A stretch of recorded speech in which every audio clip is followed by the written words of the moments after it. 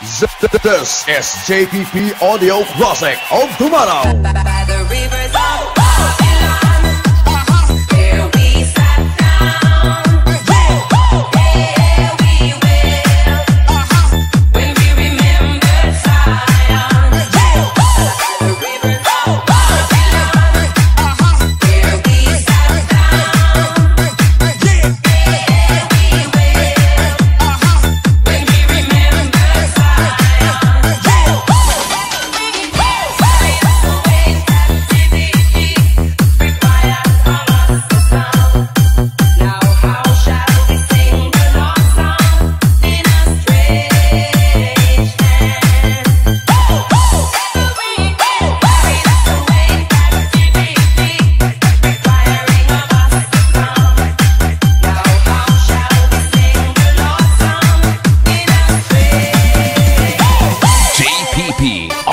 classic.